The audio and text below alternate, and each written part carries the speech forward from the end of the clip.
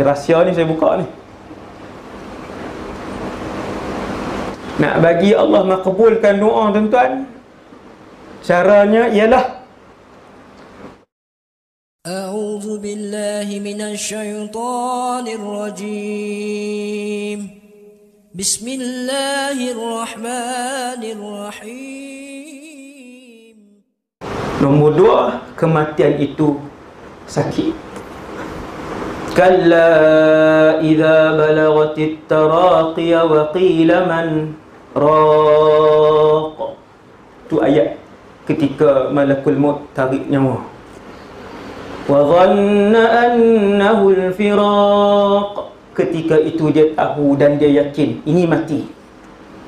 Setiap orang bermula daripada saat ini yang belum pernah merasakan kematian seandainya esok adalah hari kematian dia waktu malakul maut tarik nyawa dia pukul 7.35 pagi. Saat yang ke-12 7.35 saat yang ke-12 waktu malaikat tarik nyawa dia tu sama ada dengan perlahan ataupun rentapan maut waktu tu dia tahu itulah kematian. Sebab apa? Sebab dia berkait dengan poin nombor tiga yang saya sebut ni Kerana mati Sakit mati Tidak pernah dirasakan oleh mana-mana makhluk Ketika mana dia hidup. Tak pernah. Dia pernah rasa sakit melahirkan anak Dia pernah rasa sakit kanser tahap empat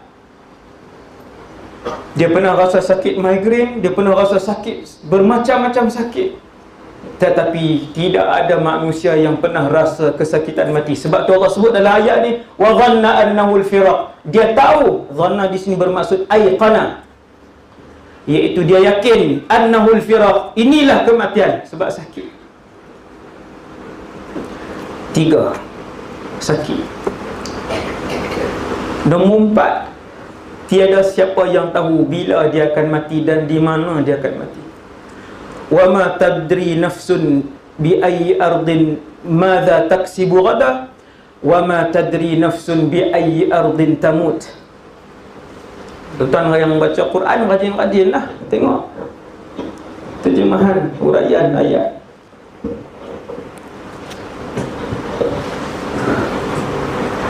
Mati Tak ada siapa tahu. Boleh kau saya cakap kedah Sedap sikit. Saya lah sedap. tak nak kontrol lah. Dulu dalam TV dan radio duk kontrol lah. Subhanallah. Tuan-tuan yang dirahmati Allah sekalian Tiada siapa yang tahu Bila dia akan mati Di mana dia akan mati. Manusia kalau dia ingat dua benda ni Sudah cukup untuk dia menjauhkan diri Daripada bermaksiat kepada Allah Subhanahu Wa Taala. Dia ingat dua ni je tidak ada manusia yang tahu bila dia akan mati, di mana dia akan mati. Dan tidak ada manusia yang boleh membeli hari dan tarikh kematian dia. Sekaya apa pun dia, semasyhur apa pun dia. Boleh beli. Kalau mati dia selepas dia mabuk, maka bermaksud begitulah kehidupan dia kerana Allah akan mematikan seseorang. Ini kaedah. Allah akan mematikan seseorang sesuai dengan bagaimana dia menjalani kehidupan dia. Semua orang pernah dengar orang meninggal ketika sujud?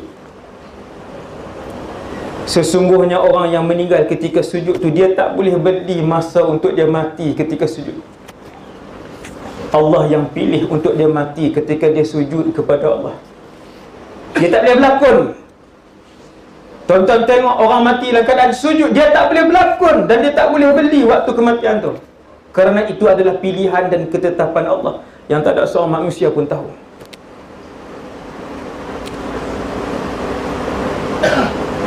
Ada orang mati dalam keadaan sujud. Saya tak mau cerita lagi panjang. Sujud Selepas berbuka puasa Malam Jumaat Bulan Ramadan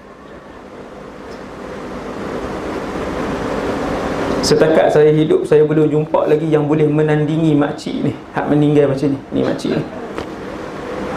Makcik ni jiran saya. Tak payah cerita lagi panjang Tak sempat ni. Ni, ni duduk muqaddimah ni kan ni. Dengan duduk kata masuk dah tadi ni Dia sedang bermuqaddimah Tuan-tuan seorang makcik.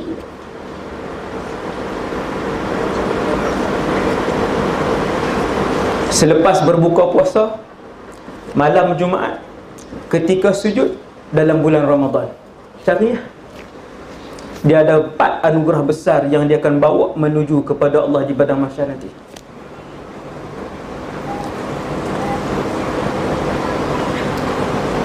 Waktu saya kecil, saya jiran, rumah rumah kampung ni dia kayu. Saya akan tidur dalam keadaan saya mendengar bacaan Quran makcik ni.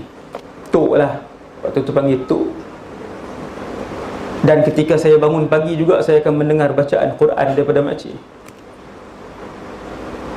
Tidur dan bangun.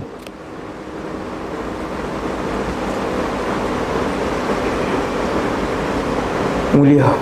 Maka Allah mengajar. Nabi SAW mengajar kita untuk mati dalam keadaan yang baik. Allahumma khtim lana bihusnil khatimah. Tuan-tuan masih ada peluang masih ada peluang. Kerana kita masih hidup. Sekarang ni yang ada dalam surau Yang ada di luar surau ni semua masih hidup.